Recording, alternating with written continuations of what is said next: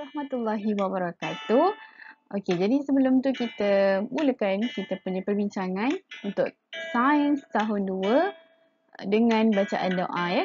Okey, dan uh, kita akan bincangkan untuk topik kita pada hari ini berkaitan dengan bumi.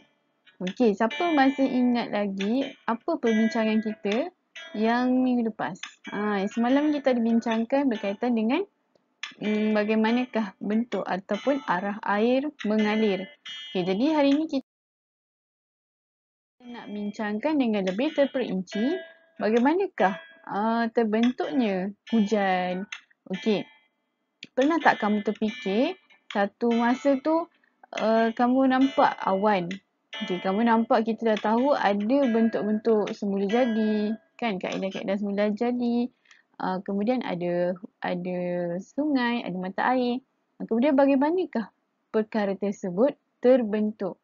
Ha, kalau kamu nak tahu, Allah menjadikan uh, kita punya kitaran semula jadi ni sangat indah, sangat seronok untuk kamu belajar. Jadi yang pertama, okay, kamu boleh tengok kan, sekeliling, sekeliling kita ni, kalau kamu nak tahu sekeliling kita ni banyak dengan air. Ha, banyak dikelilingi air. Contohnya lah, ha, contoh kawasan laut. Okey, ini adalah gambaran bagaimanakah uh, terbentuknya hujan. Okey, kita tengok yang pertama. Contoh ni adalah kawasan air. Okey, kawasan air ni sangat luas, betul tak? Okey, kawasan air. Kemudian uh, daripada air laut lah. Air laut. Kemudian akan uh, naik ke atas. Naik ke atas tu maksudnya apa? Maksudnya air tu akan tersejat.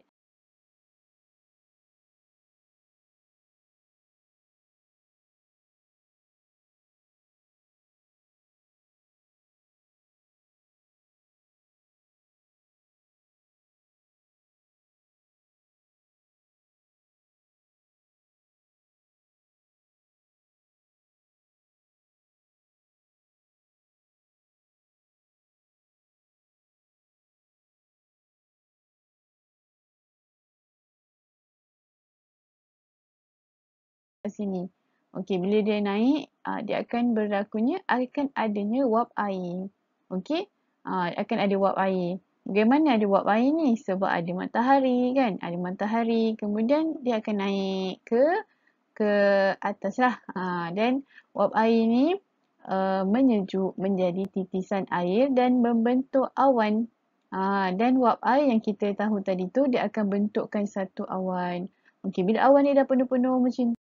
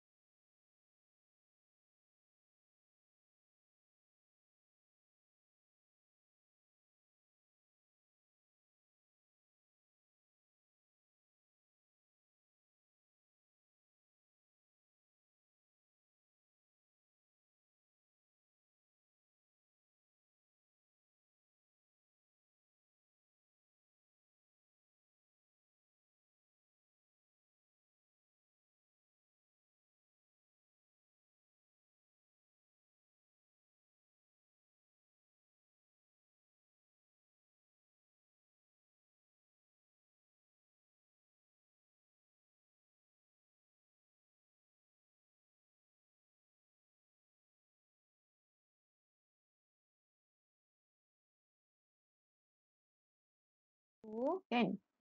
Okey, awan ni dah menjadi sangat berat. Ha, bila dah jadi sangat berat dan uh, dia akan turun sebagai hujan. Okey, nampak tak? Dekat sini kan dia ada uh, banyak wap air tadi tu. Bila dia dah terbentuknya awan, awan ni tak mampu nak tampung keberatan dia tu.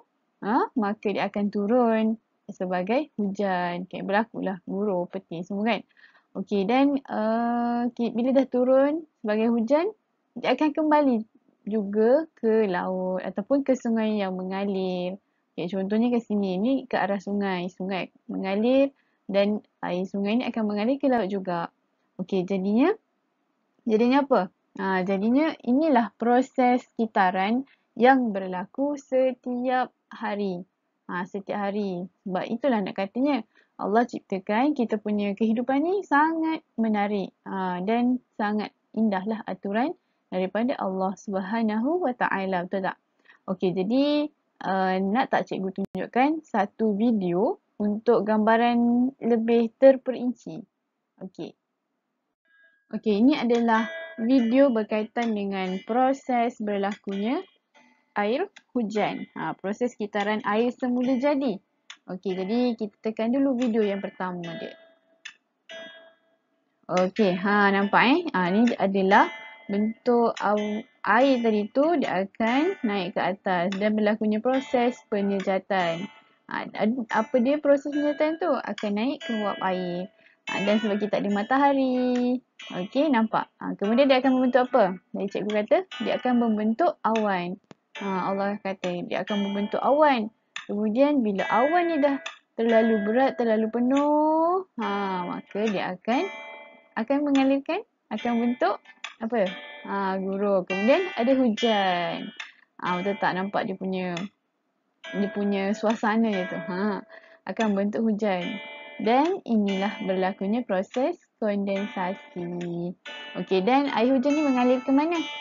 Ha, dia akan nampak dia akan mengalir ke sungai dan ke laut ataupun ke laut lah. Ha, so ini adalah gambaran secara umum ha, dan dia akan berlaku setiap hari. Ha, setiap hari akan berlakunya kitaran air semula jadi. Okey, boleh jelaskan kat sini? Ha, ini adalah berlaku proses kitaran air semula jadi. Okey dan um, kalau kamu nak tahu kan kenapa uh, kitar air semula jadi berlaku berterusan untuk membekalkan air kepada kehidupan dan menyejukkan bumi kita. Nah ini adalah kepentingan uh, pembentukan kitaran air semula jadi. Ha, yang pertama untuk menyejukkan bumi kita, ha, kan untuk menyejukkan bumi kita dan yang kedua untuk membekalkan kehidupan membekalkan air yang bersih kepada kehidupan semula.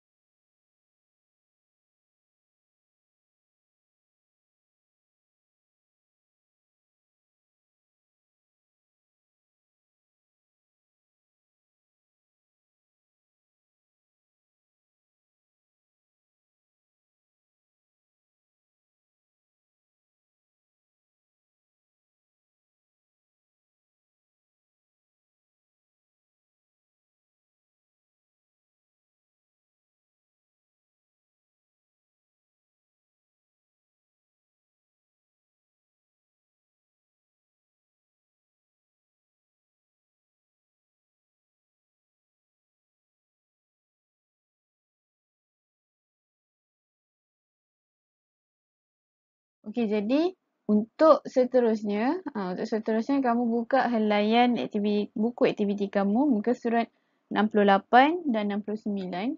Okey, yang pertama kamu tuliskan tarikh hari ini. Okey, tuliskan tarikh. Kemudian soalan yang pertama, uh, tengok kat sini. Lakarkan anak panah urutan kitab air semula jadi di bawah. Okey, yang pertama kamu tahu macam mana? Ha, dia bermula dengan air lah kan. Ha, bermula dengan air jadi dia akan naik ke atas. Okey, kemudian naik ke atas, maka dia akan membentuk apa? Ah, ni apa dia ni? Ah, ni adalah wap air, betul tak? Ni wap air. Kemudian dia akan membentuk awan. Okey, maka dia akan berpusing, akan membentuk gumpalan-gumpalan awan yang hitam uh, dan dia akan menurunkan hujan. Okey, dia, dia akan turunkan hujan okay, dan kat sini akan berlaku proses kondensasi. Okey, dan akan turun ke sungai ataupun ke laut. Okey. Faham ke kat sini setakat ni? Okey, jom kita tuliskan jawapan dekat bahagian bawah ni pula dalam kotak ni. Okey, kamu buat ya nak panah ni. Okey, yang pertama dikatakan kitaran air semula jadi berlaku apabila apabila apa? Apabila uh, air air sungai air sungai dan laut menjadi Menjadi apa tadi cikgu kata kat sini? Menjadi wap air. Okay, kamu tulis ya dalam jawapan buku kamu menjadi wap air. Okey. Seterusnya. Ha. Wap air menyejuk menjadi titisan air dan membentuk membentuk apa? Ha, wap air ni dah sejuk. Bukannya uh, menjadi uh, titisan air dan membentuk apa kat sini? Menj menjadi jadi awan. Okey, bagus. Okey, jawab eh dekat tulis dekat dalam buku kamu. Menjadi awan. Okey, dan awan akan menjadi berat dan turun sebagai ah ni apa tadi cikgu kata? Sebagai hujan. Kita lihat sini sebagai hujan. Alright. Seterusnya, okey, tengok muka surat 69. Okey, kamu buat sama-sama dengan cikgu isi tempat kosong dengan jawapan dan lakaran gambar. Okey, ni perkara yang cikgu rasa cikgu yakin kamu boleh buat. Yang pertama, daripada mana? Ha, dia bagi clue kat sini awan kan? Okey, jadinya clue yang pertama dekat bawah sini. Okey, yang pertama kamu lukiskan gambar. Gambar apa yang terbentuk dulu? Air kan? Okey, betul. Gambar air. Okey, maka kamu lukiskan gambar air kat sini. Lukis ya. Okey, lukis. Lukis gambar air. Contohlah. Okey, kemudian selepas uh, berlaku air, akan berlaku apa? Okey, tadi kita dah bincang dia akan berlaku, akan menjadi menjadi apa? Ya, betul. Menjadi wap air. Okey, bila dah menjadi wap air, dia akan terbentuk awan. Ha, barulah jumpa clue dia. Okay, bila dia terbentuk awan, maka dia yang terakhir akan membentuk akan bentuk apa? Ya, membentuk hujan. Okay, kamu kamu tulis kat sini. Ha, membentuk hujan. Okay. Okay, kemudian kamu tandakan right pada jawapan yang telah kamu isi dekat uh, ruangan jawapan bawah ni. Okay, ni. Ha, ni tanda. Tanda apa yang kamu dah jawab tadi. Okay, supaya mudah dan tidaklah kamu keliru. Yeah? Okey, fahami kat sini, kat sini kat, kat bahagian petak sini kamu lukis, lukiskan ya. Okey, jadi uh, setakat ni itu ada apa-apa soalan? Okey, kalau tak ada apa-apa soalan, uh, kamu boleh cikgu tinggalkan kamu dengan latihan dekat bahagian live worksheet untuk sains.